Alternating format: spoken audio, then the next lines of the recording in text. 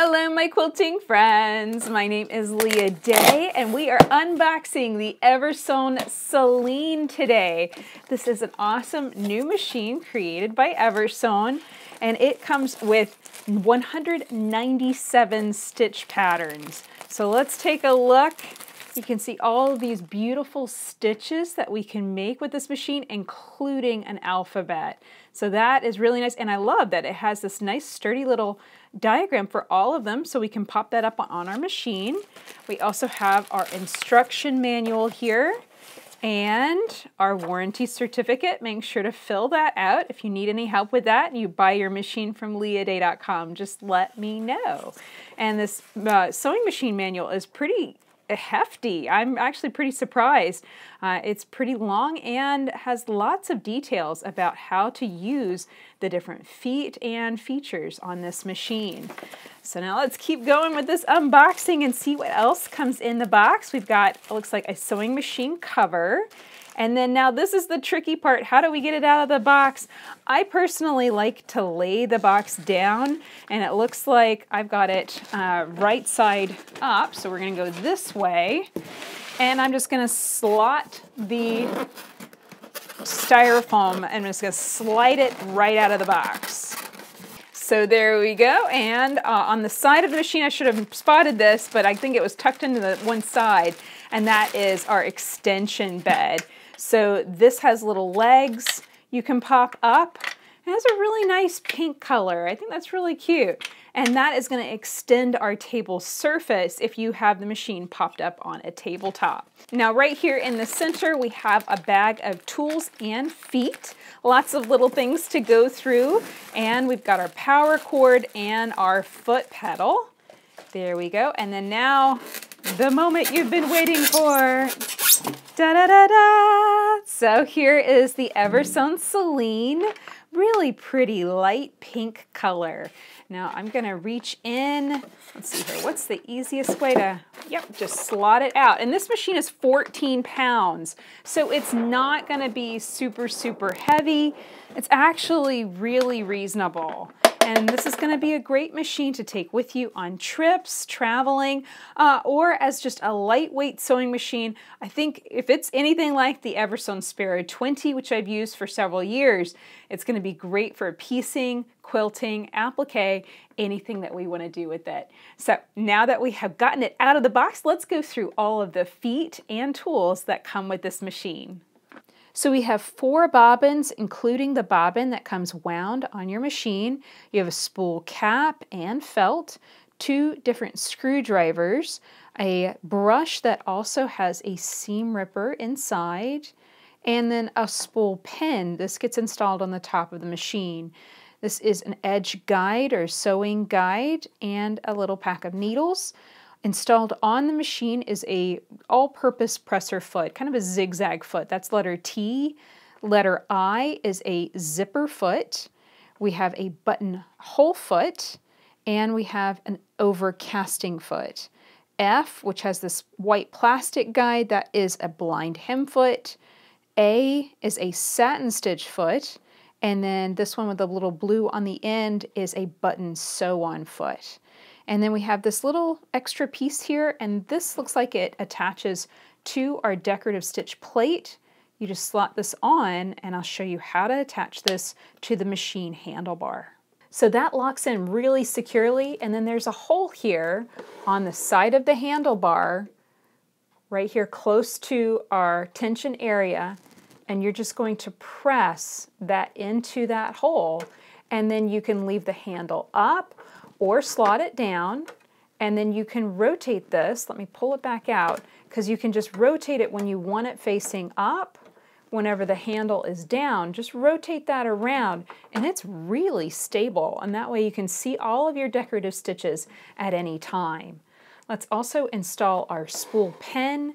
There is a hole back here near the bobbin winder and you're just going to press that down firmly into that hole. There we go. Now let's wind a bobbin.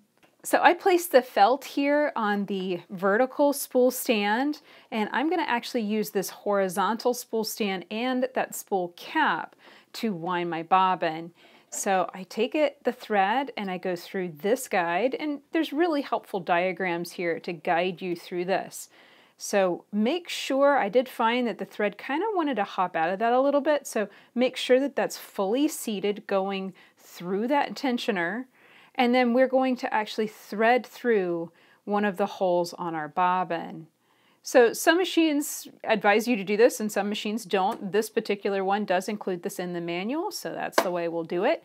We click the bobbin over to the guide, to the stop, and then notice that I have my foot pedal right here. I want to show you that you can wind this bobbin with just your start stop button. So hanging on to the thread and setting my uh, speed slider to about the middle, I'm just going to hit the start button. Now, if you want this to speed up and not take a million years, just simply increase the speed of the machine. Now, if you want to break this thread and not have it be messy, then just grab your seam ripper and give that a little uh, cut. And then now we can get back to winding. And it's just a habit of mine to run the thread through my fingers as it goes, but obviously you can let it go. You don't have to do that. And you can go even faster. That's just on the front of the machine, I'm just adjusting the speed slider here to the front in order to increase the speed. So this is going to wind. It does not have an automatic stop. It's just going to rub up against this little guide here. So you have to pay attention to it and actually click it over whenever you're done. So you will know that the bobbin is full whenever it is not rotating as fast. So here I'm going to slow it down a little bit and you can see what happened. The bobbin was no longer moving smoothly because it's rubbing up against this guide. So that lets you know that your bobbin is full. And you don't want to overfill your bobbin. That's just generally not all that good for your machine. So now that we have wound our bobbin, let's thread our machine and start sewing.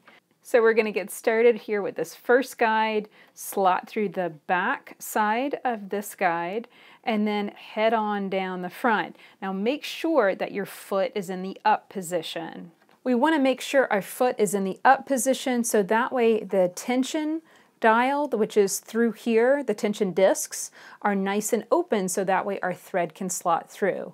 So we're going to go down, around, and back up, and then down to the needle and there is a guide here, just pop around that. it looks like I still have a little bit of saran wrap here on the machine from packing, so I need to get that off. And then now there's one more guide here right at the needle. It's right above the needle. And then I can use my needle threader slotting from the left to the right and it'll pull right through. So there we go. This machine does come with a built-in needle threader and thread cutter. So there we go. That is how to thread the top thread. Now let's thread the bobbin. So we're going to make sure that our bobbin is rotating counterclockwise according to the diagram here on the machine. So just take it and pull on it, make sure that the thread is spinning off in the direction indicated. We're going to place it down into the bobbin case. We're going to wind it up and around, and then it will cut the thread right here on the bottom. And you can go on ahead and cover it. You don't have to pull the thread up before closing the cover. So there we go. It's all threaded up and ready to stitch. To install this presser foot back, I'm going to click on, there's a little lever here on the back of the foot, and I just press that, and then the foot pops right on. And now I can take two pieces of fabric, just layer them together, and then let's try out some of those decorative stitches. I'm going to pull up my bobbin thread first just by hitting the needle down, needle up, and it made that loud sound, guys, just simply because it was the first time it ever did it, uh, and certainly the first time today. Keep that in mind. Uh, whenever a machine is just getting started for the day, it usually has a little reset. So here you can see the start stop function. You just hit start and this is right in the middle. That speed slider here is right in the middle at that speed. I could speed it up, but I probably wouldn't be able to do this just by hand then. I would need to probably uh, use the foot pedal to have a little bit more control. Here, if I want even more control, I can slow it all the way down, drop that needle in the down position, and then rotate it around. Hit the start start button again, and rotate it around. So this is a way to have really good control as you're stitching these stitches and getting some practice going. So I'm going to change to stitch number five and we'll hit that start stop button again and just check out what that zigzag looks like. And again, we can speed it up if we want to. It's entirely how fast you're comfortable with and I'll hit that start stop again. Now you notice the needle up, needle down. Whenever you hit that button, it sets it to be ending in that position. So here, if I switch back to my one, number one stitch, I hit start and I stop it, the needle's always ending in the down position. If I hit that button, the needle is now gonna always be up. So I hit start again and stop, you see the needle is up. So it's an interesting feature and it's something that I absolutely love, especially when I am piecing or free motion quilting. Now while we're talking about stitches, you might be curious about how to adjust your stitches. Right here you can see we have a reduction on the stitch length. This is now at 2, 1.5, and then here we have our stitch width. Now, because I just switched to a straight stitch, the width is really just indicating center needle position. So let's switch to another stitch. Number six is our uh, kind of st stitched zigzag. And what we can do is we can definitely play with the width of that stitch, taking that down to four. I could take my stitch length up to 1.5 or 2 and then now I can hit the start, start, stop, start button and see what that produces. It really does make a lot of sense to take some time and play with these stitches. They of course have a set standard um, set of settings as far as length and width, but you can absolutely play with that in order to create some really creative designs. So that is it for our unboxing of the Eversewn Celine. You can find this machine on my website, leahday.com slash Celine. You can also find our additional foot sets, including the Eversewn Deluxe Quilting Foot Set.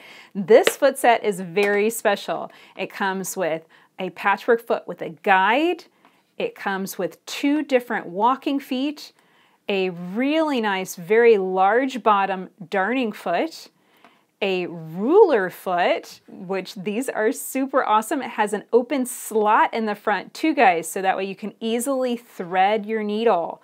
You have a standard quarter inch patchwork foot with no guide. I love this particular foot and you have an applique. This is an open toe applique foot. It's kind of stuck down in there, uh, but I hope you can see that foot as well. And then this is our stitch in the ditch foot. It has a guide right down the center to help you with stitching in the ditch.